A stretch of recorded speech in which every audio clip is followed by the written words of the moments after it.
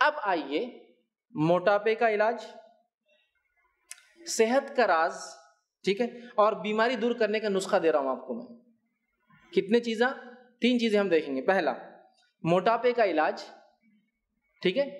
दूसरा, सेहत का राज, तीसरा, बीमारी दूर करने का तरीका, ठीक है? मैं आपको एक हदीस रख रहा हूँ और उसमें इंशाल्लाह तीनों का सलूशन मैं रख रहा हूँ आपके सामने। सुनिए जाम तिरमेजी की रिवायत।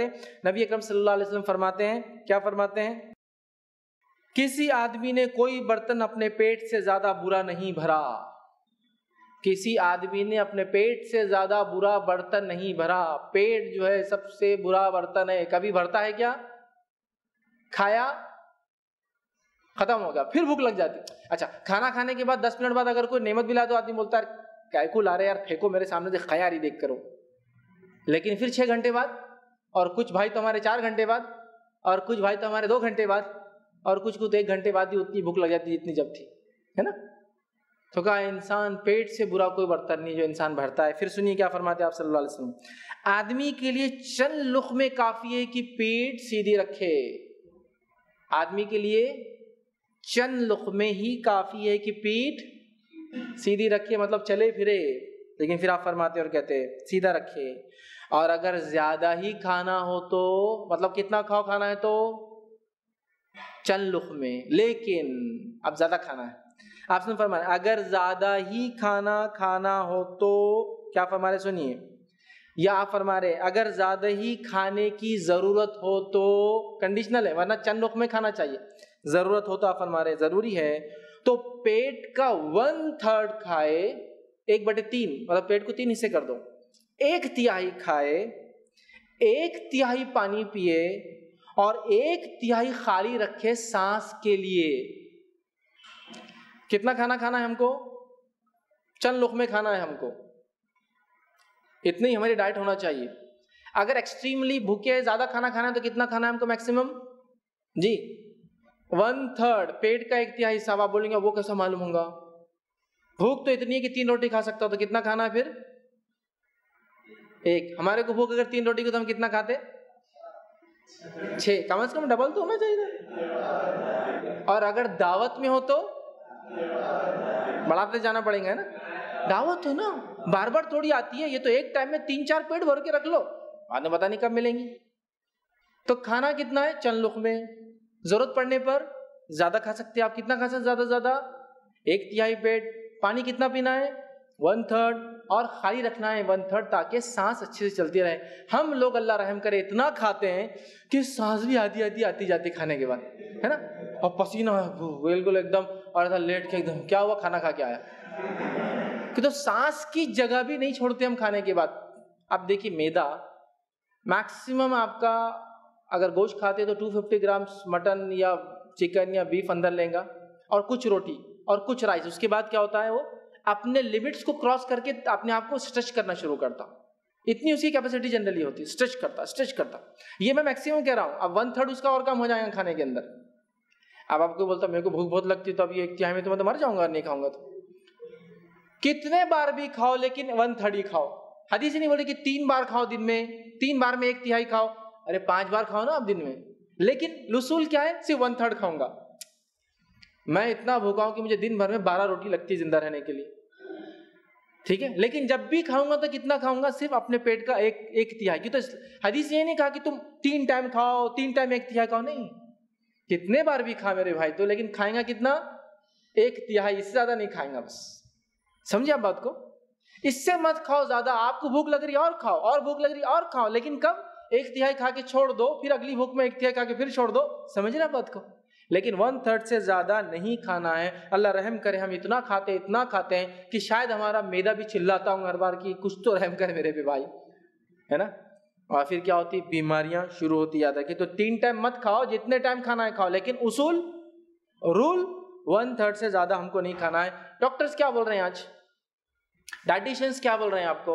न्यूट्रिशन जो आपको दे रहे हैं, वो लोग क्या बोल रहे हैं? ठीक है हेल्थ कॉन्शियस लोग क्या बता रहे हैं? फ़ील्ड के माहिर लोग क्या बता रहे हैं? जो मार्शल आर्ट और दीगर इसमें है, वो बोल रहे हैं कि खाना जब भी खाना हो तो कितना खाओ? वन थर्ड खाओ डॉक्टर्स की गवाहियाँ इस पर हज़ारों और सैकड़ों की मौजूद। कितना खाओ खाना जब भी खाओ तो?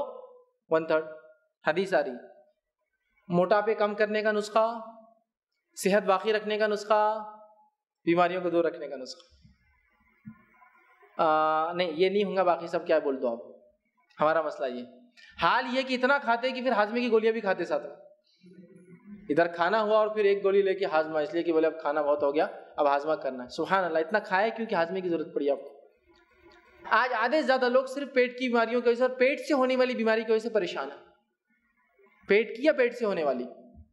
क्योंकि उसी का ख्याल नहीं रखते हम। ये बर्तन भरता नहीं है कभी। इसकी ख्वाहिशात खत्म नहीं होती। ठीक है? तो मोटापे ने जो है पूरी फिटनेस उम्मत मुस्लिमा की बर्बाद कर दी। मोटापे ने क्या किया? उम्मत मुस्लिमा की पूरी फिटनेस को बर्बाद कर दिया। और क्या हो गया? मोमिन का जिस्म बीमारियों का घर बन गया। मोमिन का जिस्म बीमारियों का घर बन गया। अड्डा बन गई, हमारा जिसम याद रखें, ठीक है?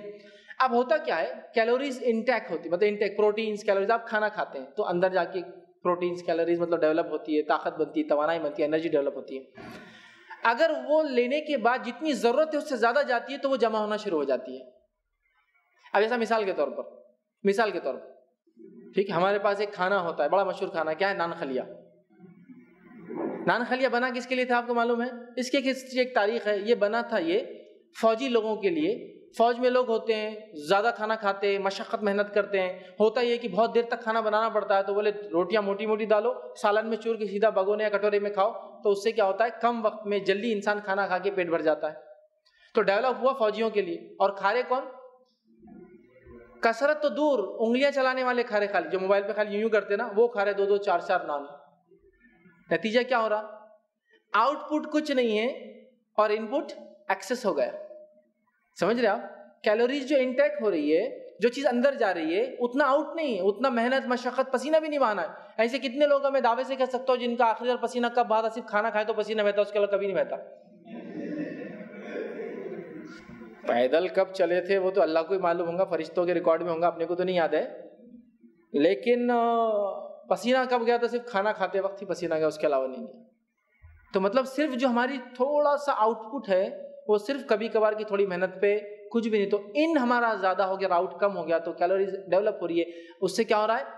मस्क्यूलर डेवलपमेंट मास बढ़ना अलग बात है। वो क्या होता हुआ? चर्बी डेवलप होती है, इसको हम जबान कहेंगे फैट डेवलप होता है और फिर बहुत सारे प्रॉब्लम्स बहरहाल शुरू हो जाते याद रखिए। पहले के लोग मशक्क़त ज़्यादा करते तो खाने वैसे खाते, हमने भी अपने खानों को आज की हमारी लाइफ के हिसाब से डिज़ाइन करना चाहिए, याद रखिए, ठीक है? आज हम में से अक्सर लोगों का ये रूल है, उसूल है ज़िंदगी जीने का, हम जीने के लिए नहीं खाते हैं, हम खाने के लिए जीते हैं और हम सेहत के लिए नहीं खाते, पेट भरने नहीं खाते, हम मुँह के मज़े के लिए खाते हैं। पूरा रूल ही चेंज हो गया। हमको जीना है तो माशाल्लाह खाना है, और हम अक्सर जी रहे हैं कि हम खाएँगे बोलकर ये रूल चेंज कर दिया, याद रखिए, इससे प्रॉब्लम्स हो रही याद रखिए, ठीक है? तो खाना जो है, हम लोगों का मामला ऐसा हो गया, खाना जब हमको मिलता है तो खाने को हम ऐसा खाते हैं, जैसा कि ये हमारा ज़िंदगी का आखिरी खाना हो।